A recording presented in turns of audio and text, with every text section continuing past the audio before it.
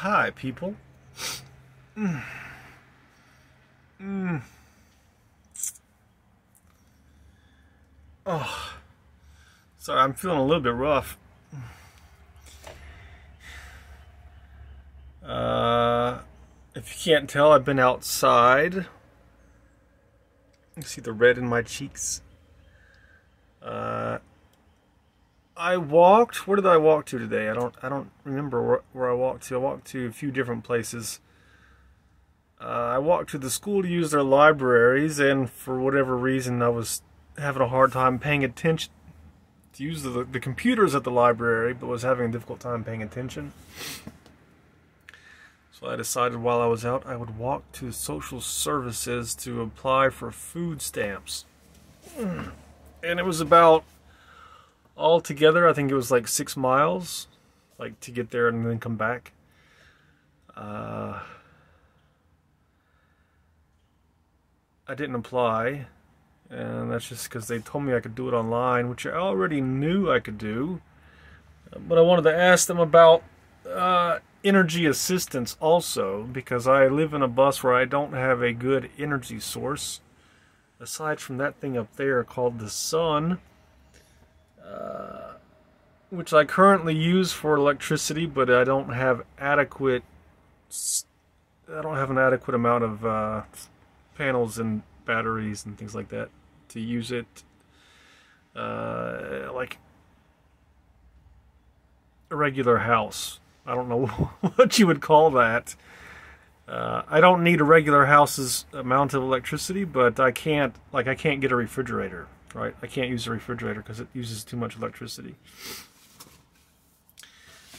Uh, even my computer, I have a desktop computer which I don't use currently. If I want to use the, like I have a laptop, a tablet, uh, a laptop and a tablet. If I want to use those, I just go to a nearby restaurant like Culver's or or Wendy's or Starbucks or something like that. I use their Wi-Fi and their power, and uh, that works. Uh, I don't for computer and things like that. I don't need like a constant power supply. It would be nice, especially if I want to get a job. Uh, if I get a full-time job, say as even a, a help desk, uh, it would be good to have enough power that I can sit here for eight hours a day and not worry about the power shutting off. So a generator would help with that too, but uh, I don't have a job, so I can't buy gas. So this is one of the reasons why I feel rough at the moment. Is just this kind of stress of financial insecurity stress. Uh, but I'm in a position where I almost don't need a job. I, I'm I don't don't I'm like I get free food from food banks. I get like I said a little bit of free electricity already. Uh, if I want to use, like I said, if I want to use my laptop or tablet, I just go up to a restaurant. The, of course, I, I am limited to when they're open. Uh, they're not open 24 hours, and uh, I don't like to sit in there for eight hours at a time either. Uh, but uh, I, I am pretty close to not needing a job at all, and uh, but I'm not quite there, and there is a there is a little bit of like panic, you know, because I like I went to the food bank last. The thing like with food banks is you don't get. Uh, uh, like you can't order your food, right? You don't get to go there and pick. You kind of have to take whatever they give you. At least at the ones that I go to, uh, they they just have like they just fill up like a box or whatever, and they give you the box. And uh, uh, so the last trip wasn't. It was a good haul, I'll put it that way. But it was when I saw it, I thought, I don't know if I can make it a month on this. And uh, so it's like, well, I probably am going to need food stamps, and I have this van sitting out here that uh, has a loan on the title, which basically means that I, I, needed a loan, and the only way to get the loan was to use the title of my van to, to get the loan, and which means that I have to pay back the loan or I lose my van. And uh, I haven't paid back the loan. I, am not. I'm not even 50% of the way through, and. Uh, that scares me, right? Because I don't want to like come back from a, a, walk, a six mile walk one day, or even a two mile walk, and, and get back here and see my van is missing. Of course, I don't know if it's legal for them to take my van without telling me about it first. I'm not sure about that, but. Uh...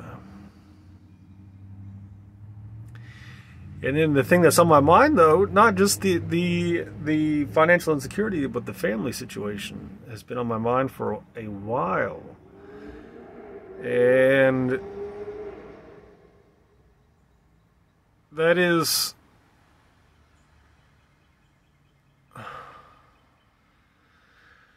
I'm not even sure what to say about that. Uh, I am not sure what to say about that. Uh, partly because I'm not sure what to do about it. Uh, the, the family situation is just like blackout. It's just a communication blackout where like I literally am a hundred yards from the family business. Like I, I'm looking out the window here and I can look straight across to my, the family business shop right over there. Uh, just two hours ago they were at work. It's about six o'clock right now and about two hours ago they were at work and I could see people walking around out here. I was I was sitting in the bus. Uh, but there's no communication. And I don't mean to say that they're not communicating with me and I'm trying, I'm, I'm like, hey, hey, hey, hey, talk to me. Uh, there's just no communication one way or the other. I, I feel like for me, it's better just to stay, keep my distance. Uh, and for them, I guess it's the same way. There's just no there seems to be an irre irreconcilable uh, difference here. Uh, and as far as I can tell, it is the trans thing, and where it's like they, they're, it's like almost like a battle, a battle of wills kind of thing, where it's like they don't want to accept it, and I don't want to be a part of a family that doesn't accept it, if that makes sense. Like I don't want to all right, well, you know, I'll dress as a man, and and you know, you guys get your way. You know, and they're from their perspective, it's like, well, we don't want to let you over here as a woman, and let you, because you know, we want to have our way, kind of thing. Does that make sense? Did I say that the right way? But. Uh,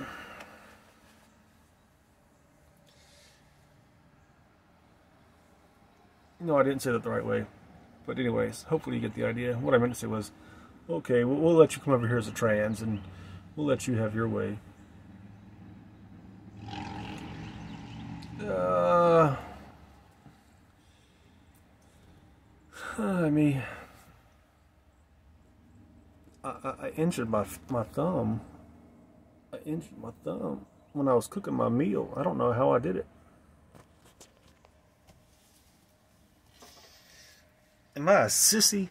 Am I a sissy? Am I a sissy girl? A sissy trans? I hurt my finger. Uh, what to talk about? What to talk about? Uh, uh, the other part of that is the the fact that there could be work there for me.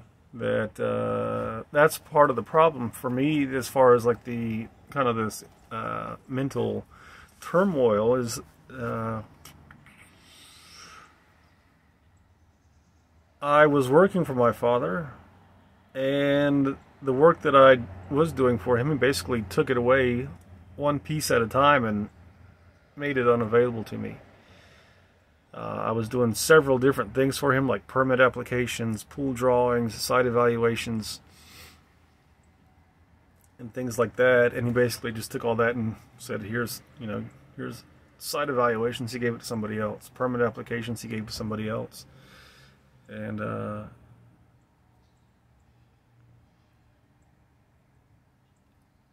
I don't mean to say that I was working there when he did that. Uh, I did leave. I went. I went to go to Home Depot, and uh, I got a job at Home Depot. And then he offered me a job uh, while I was out. Uh, you know, like I was no longer living here. And uh, while I was no longer living here, he called me up and said that he had a job for me and it was doing the permit applications. And uh, when I got back up here, that's when I found out he already had somebody else doing it. And he said, "Yeah, no, I don't have it. You know, you're not going to do that." And I was like, "What is going on here?" Uh,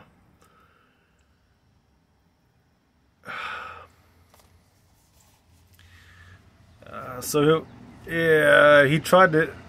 We he came up with this idea that uh, you know I'll just hang out the shop and just do things, and uh, I didn't I didn't like that idea. Uh, that was not even close to what I had asked for. What I had asked for was to get paid to do something like permit applications or pool drawings or whatever. Uh, the problem I had with that initially, when I was doing that before, was that he was paying me for a week. Right, it's like a week's salary and some people might say, what's wrong with that? Uh, it wasn't a week's worth of work. That was the problem that I had. It was, you know, I'm getting paid essentially for 40 hours worth of work, uh, but only doing four to five hours of work per week, you know, that sort of thing. Uh, and so I didn't like, I don't like feeling like I'm cheating somebody, but I also feel like I have better uses of that time. You know, if I'm, if I'm only actually doing four to five hours of work per week, I don't know if it was that was the right number, uh, but uh, I wasn't. I mean, the rest of the time I was basically just looking for things to do to stay busy, right? Um,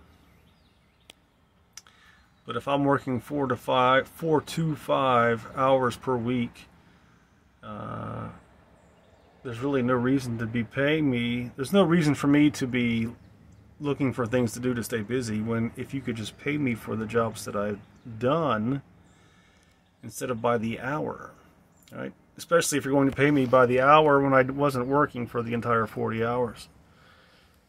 Or if I was just doing busy work, right? Like what's the point of having someone, you know, you know, like me there. Anyways, uh, so I didn't like the I didn't like the whole thing of getting a, bunch of money and then basically being told just give me my money's worth.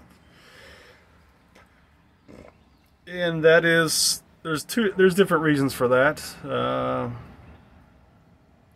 one is the negativity. Since I've been back from Atlanta, it's just been nonstop negativity. And uh, as far as the working relationship. Uh, at work, it was like there was just constant complaining. It was like every time I saw my father, if he came to me to talk about something, it was nine times out of ten it was a problem. And uh, so, in situations like that, I don't want unclear communication. Like, I don't want a job where someone gives me money and just says, Give me my money's worth because I don't know what your money's worth is, right? And if you're in this state of mind where you're looking for excuses to to criticize me and complain, I don't want a job where that's that's that's the the extent of the communication. I'm I'm happy to have a job where I get I get the freedom to take initiative and take responsibility. Uh, but I don't want a job where my employer is giving me enough rope to hang myself right? Uh, because that's what they want, right? And that's that was the impression that I got was that basically he was he was giving me enough rope. He wanted me to hang myself. He was hoping for me to. He didn't. He wasn't even hoping for me to fuck up because he. Did, I don't need to fuck up. All he has to do is make up something that I am not doing, which is what he did, and. Uh, Uh, he would come to me and criticize me for things that weren't even real. Uh, and when I say not real, I mean he would say he said he would come to me and say things like, "Well, so and so said you're not doing this or that," and I'm like, "This or that? What is this or that? That's not a real. That's not a real thing, right? You're you're complaining about a, a, a, an imaginary thing here." Uh, you know, it's like, well, if you want me to do this or that, then just tell me what this or that is, and that you want me to do it, and I'll do it. Uh, but uh, so this was this was the one of the reasons why I wanted the pay me for the job, right? If I do a permit application, just pay me for the permit application. We'll just come into an agreement. Maybe a permit application is worth a hundred bucks, right? So if I do a permit application, just give me a hundred bucks for the permit application. So, but he didn't like that, and uh, he tried to get me back into a job where I was basically he was giving me money and I was supposed to give him his money's worth, and uh, uh, he tried to get me into that, and I refused, and so then he put me on call. Uh, basically, he gave me a small amount of money just to hang out here, and that turned into the same thing where it was like, well, now he's he's upset because I'm I'm still not doing things that that whatever it is he wants me to do that he just doesn't want to tell me that he wants me to do. And uh, so he took that away, and uh, because he said that's what that wasn't working for him. But apparently it was because I wasn't I wasn't taking initiative and doing things that you know that needed to be done. Uh, even though I specifically stated when he when he offered me that that I don't want to hang out here and look for things to do. You know, if you if there are things you want me to do, tell me what they are. Uh, but uh, so he eventually took that away, and then he later, uh, after I went and got a job somewhere else, came up with the idea of having me do a technical drawing for the pool installers, uh, which is uh, it's like a blueprint. It uh, very similar to a blueprint. Uh, maybe you could call it a blueprint. Uh, basically, the idea is he's going to buy a big format printer, like a two foot wide printer where he can print out these drawings, give it to the, the pool installers, and they can use it for when they go to do the pool installation job. It shows the dimensions of the pool. Uh, it breaks down the dimensions of the pool so they can, when they dig the hole, they know, you know, they know all the dimensions, and then it also shows the relationship to the house and the property. Uh, so if the pool is 30 feet from the house, it shows that sort of thing, and and I'm like, yeah, this this is uh this is this is enjoyable kind of work. It's not my dream job, but it's better than digging with a shovel, right?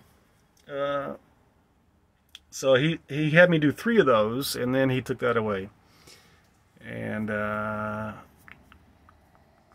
uh, he also offered to to have me do a Microsoft Excel automation. He wanted he uses Microsoft Excel as pretty much any kind of business like this should be. I don't mean I don't mean they should be using Excel, but they probably have some kind of spreadsheet, and uh, he wanted to automate it. And uh, so I was looking at different solutions that I was telling him about the solutions, and he's like, "Yeah, no, don't don't worry about that. I'm not going to do that." And uh, so basically now now I'm down to zero, right? There's nothing. He has no work for me to do at all.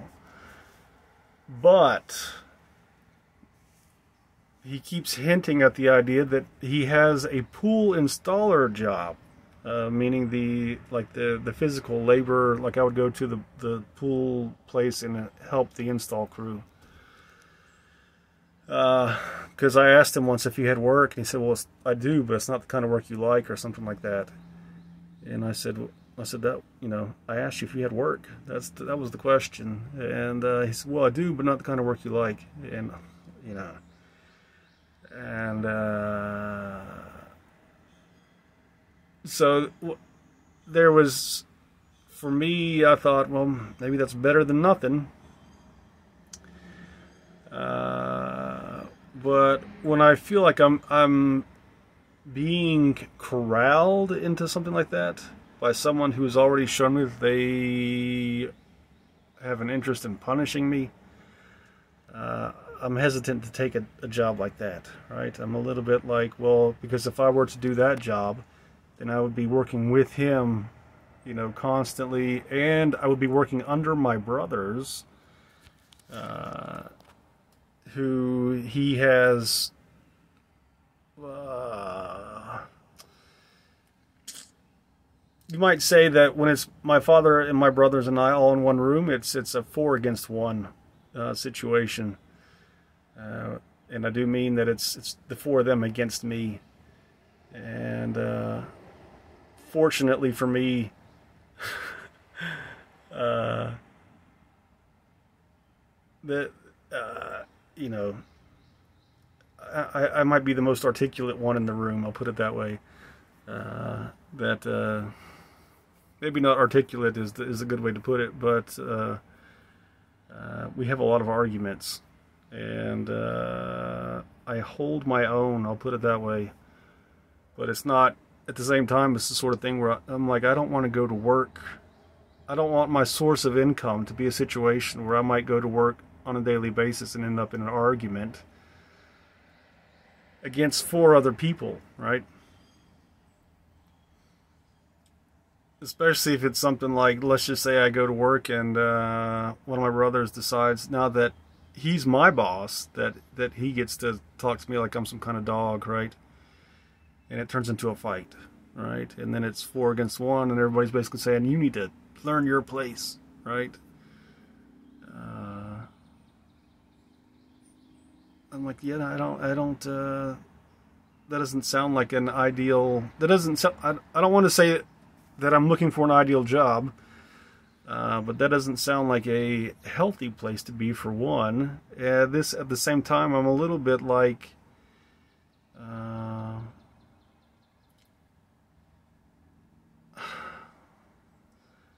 part of where the confusion comes from for me is I see that as a potentially hazardous, unhealthy uh, situation to be in. But because of a lot of the things that I've been reading, like Stoic philosophy, uh, even the Bible, I look at that situation and, and I think maybe that's the place for me to be. You know, maybe maybe that's where maybe that's the uh, the monster that I have to fight.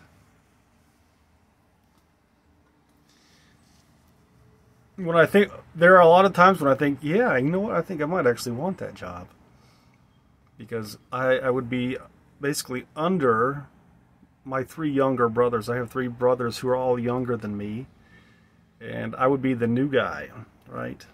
Uh, I would be the lowest on the totem pole after basically a lifetime. I wouldn't say that I was on top of the totem pole as a brother. Uh, that's partly because I was the one who was always absent. I was always gone off doing something else and basically kept to myself and that sort of thing anyways when I was with the family. Uh, but now it is a situation where uh, uh, there there could be a coup, you know, a coup a coup against the the uh, the position. I w- I wouldn't say that I was at the top of the totem pole, but being the older brother certainly had its kind of privilege. like people talk about like male privilege and that sort of thing, uh, or white privilege or whatever. There's there is such a thing as older brother privilege, or oldest brother privilege, I should say, maybe. Uh, and uh,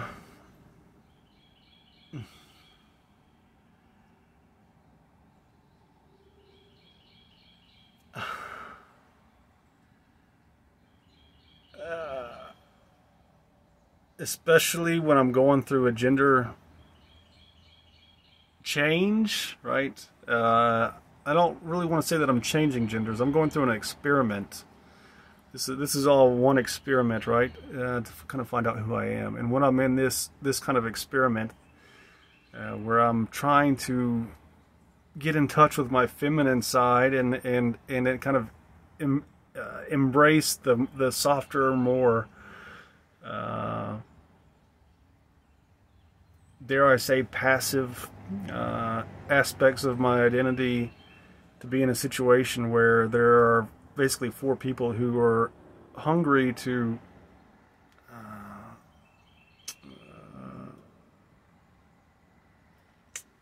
I don't want to say put me in my place, uh, but uh, to assert their dominance, maybe uh, is a good way to put it. To not be on the bottom, right? I have one of those families where it's it's like the, the the objective of everybody is to be on top. Everybody wants to be on top.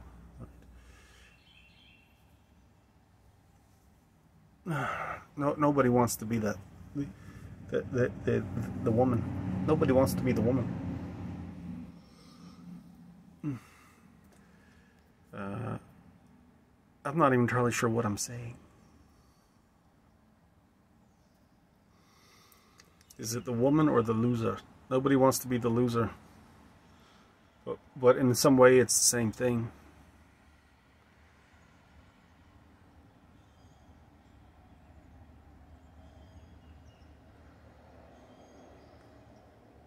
And so that's one of the reasons why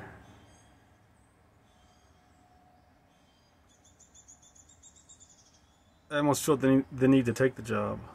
Uh, is to I'm not sure what to do about it. Uh, because there is a part of me that thinks that I need to prove that being a woman is not a bad thing, right? Does that make sense?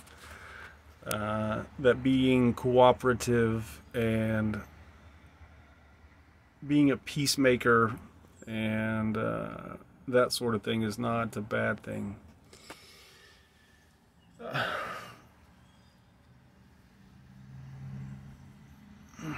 Even if that means taking orders, right, from people who I feel like should not be giving me orders. But, uh,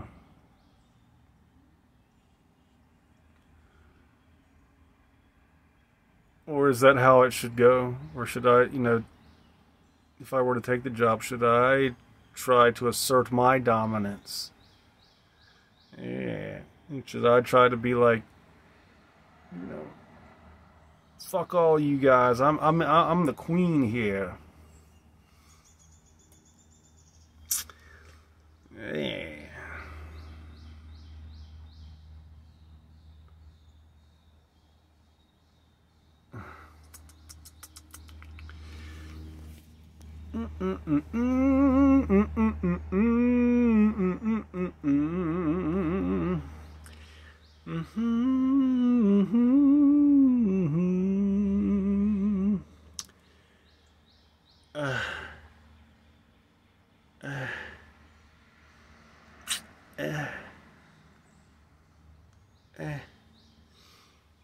Maybe I should do that if I get the job. Just go to work and be like, eh. Uh, hi. Oh.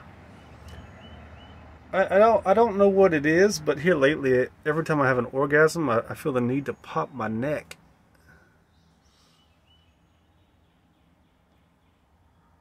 And there seems to be a, a, kind of connection between the quality of the orgasm and my ability to, to relieve this whatever you want to call it. Tension. Crick it's like a, it's like my, my neck feels like it's just kind of old and rusty or something and it's like it just needs to be kind of loosened up and you know. But if I start having an orgasm I start going like uh, uh, uh, and if I don't get it then my orgasm is is just dull and uh, not all that great. Uh, but if I get it, it knocks the orgasm up a little bit. Oh my god. Uh, hi. Uh,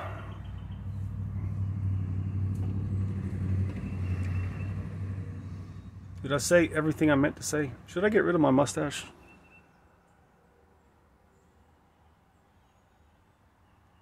If I just showed that part of my face, I feel like I have a somewhat feminine face. It almost looks like my chin got smaller, actually. I swear I had a bigger chin in the past. Maybe it's just the camera. Hmm.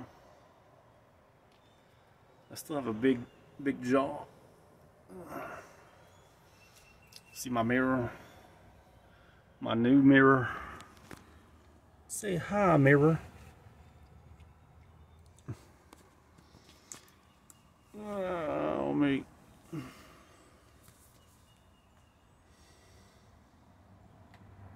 Yeah, this it is. is I'm at a time in my life where uh, I'm tired feeling like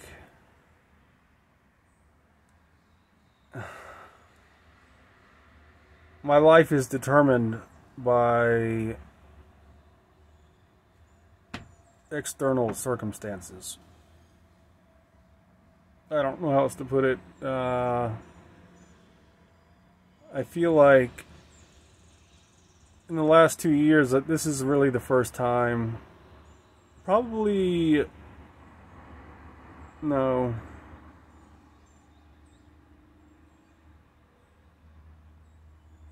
This has been a very gradual process, so I can't ex say exactly when it started.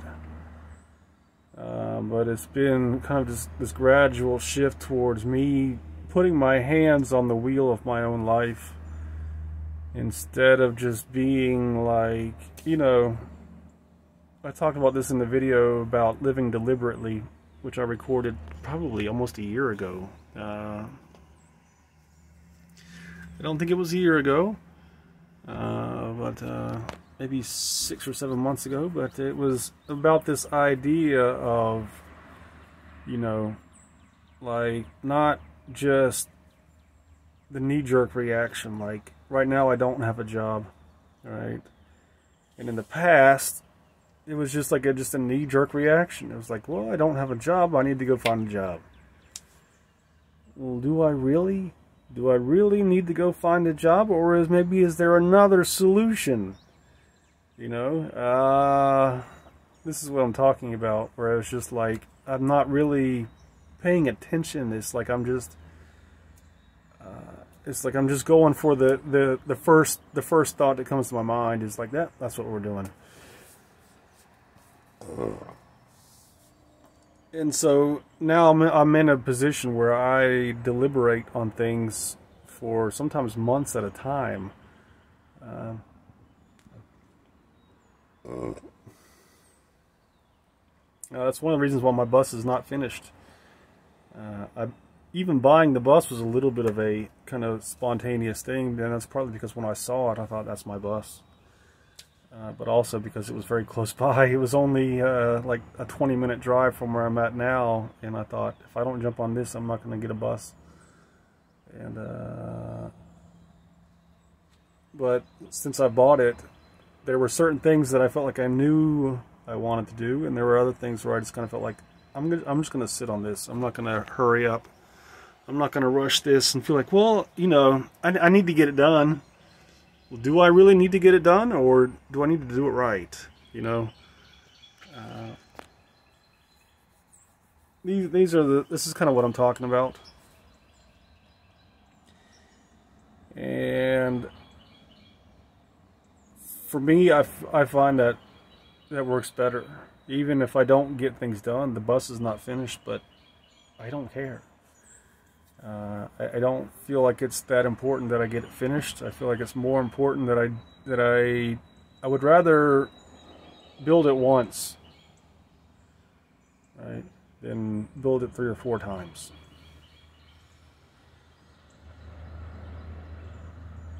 Of course, I'm not opposed to building it three or four times. You know, I'm okay with making mistakes, but I don't I don't want to make stupid mistakes. Uh, because I couldn't wait. Uh, so right now I'm in this very much like just questioning things like do I need a job? Especially as a trans person who is, you know, if you can't tell by my face, I've, the, I've been on hormones now for about a year and a half. You know.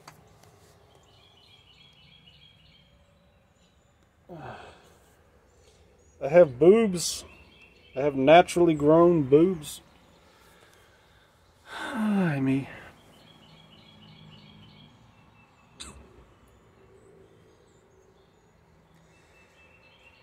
And uh, so, yeah, for someone like me, I feel like maybe going the traditional route. This probably could be why I'm in this position that I'm just talking about, right? this is the fact that I can't just go anywhere and get a job anymore. In the past, I could just go anywhere I wanted. It, you know, I would just basically just drive around town and look for now hiring signs, and then I could go into the place and typically, if they were hiring, I could just go inside and, and say, "Hey, I want a job," and they would give me an application. I would fill it out, and I would get the job a lot of times on the spot. And uh, I can't do that anymore. So part of that is maybe my age. Part of that is now that people do do this online stuff. Uh, and maybe they also have a hundred times more applications than they did in the past because of the online thing. I don't know, but uh, yeah, it doesn't work that way. I can't just I can't just drive around town anymore and, and look for now hiring signs and expect to get a job. And so, of course, that's part of it. Uh, but uh, yeah, I am trying to get into that. Do I need a job? Uh,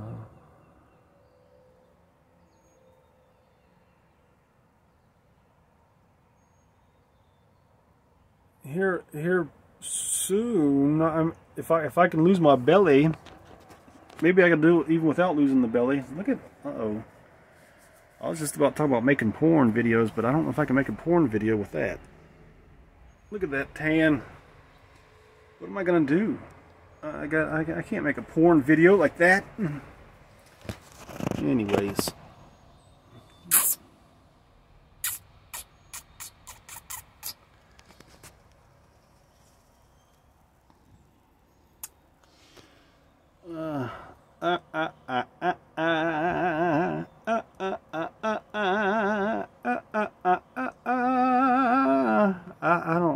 Going to say.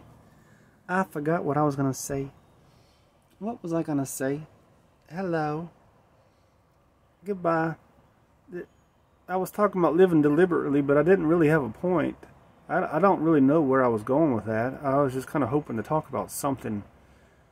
But, uh, drats.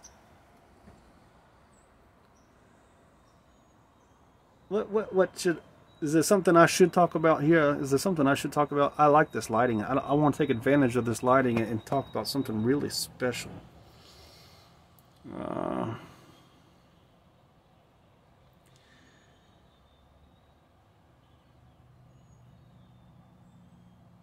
uh,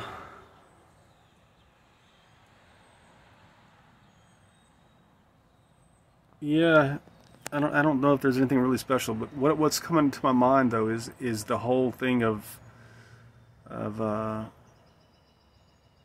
the maybe the hardest part uh, of uh, of the transition is the is the vulnerability or feeling vulnerable or just the idea of uh, you know thinking that I need to allow myself to be vulnerable, but in being in a place like I just described, where it is almost in a way, I feel almost, I imagine, I'm not going to say I feel the same way that Jesus felt, uh, but it is almost like there's these people over here who want to nail me to a cross. so, and there's that there's that thing in my head that's saying you have to be willing to be nailed to a cross. So in order to get to where you need to go, you have to be willing to be nailed to a cross, right? And uh, that's that for me is the hard part, uh, and it is uh, like the whole thing of putting down my weapons, right? Putting down my defenses and and just saying, you know, the world needs people to put down their weapons, right? Uh, I remember being in Atlanta working at the. Uh, uh, I was working at the VA hospital in the shipping and receiving department, and I was the only white person who worked there. And uh, it was a little bit unusual for me to hear some of the conversations uh, that I heard. Uh, typically, like if I was in a what I might call a normal uh, mix of people, I probably would not have heard these conversations. Maybe I would have, I don't know. Uh, there weren't really that many bizarre conversations, but there was one in particular that I remember where I just I remember thinking I don't think I would have heard this in a uh, uh, like a a group of white people. Maybe I would have, but uh, but anyways, uh, what they were talking about was the need to carry a gun and uh, it seemed like pretty much every guy there, all black, was they were all in agreement that you have to carry a gun. Uh, I don't carry a gun. I don't own a gun. Uh, one of the reasons why I don't own a gun is because I would I'd be too tempted to kill myself if I had one. Uh, but the other reason why I don't own a gun is because I feel like that exacerbates the problem, right? Uh, the more people feel the need to carry a gun, the more it makes people feel the need to carry a gun. I mean, if you're in a room of, of five people and you know that three of them have a gun and maybe you don't trust them, uh, then it's probably going to make you feel the need to go get a gun, right? And that was that was what I was thinking when I was hearing these guys talk. I thought basically what you're doing is you're you're strengthening the problem. Right? If the problem is that the world is unsafe because people out there have guns, uh, then everybody rushing out to get a gun makes it worse, right?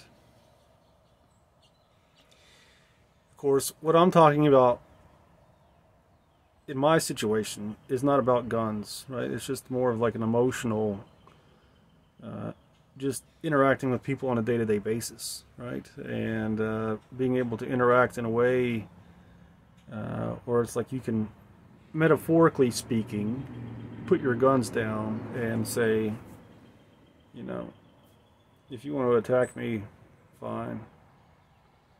It's like that, that the verse from the Bible if someone strikes you in the cheek, turn the other cheek so they can strike it also. Uh,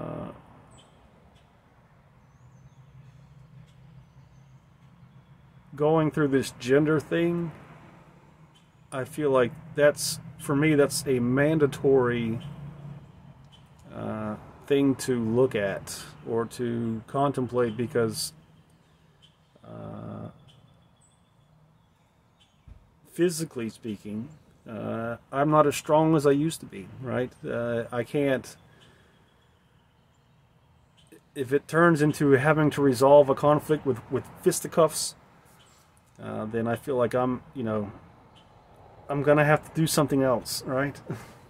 Maybe I could take a karate class or, you know, carry pepper spray with me or something like that. Uh, but uh, I'm, I'm almost got the light right where I want it. I almost got the light right where I want it. I almost got the light, except now the shadow's right on my face if I do that. That's kind of sexy right there, right? Little bit. I got I got the uh, the uh, the Ninja. What do you call it? Anyways, I think I've said enough. What time is it? 45 minutes I've been talking. 45 minutes? I just got wet.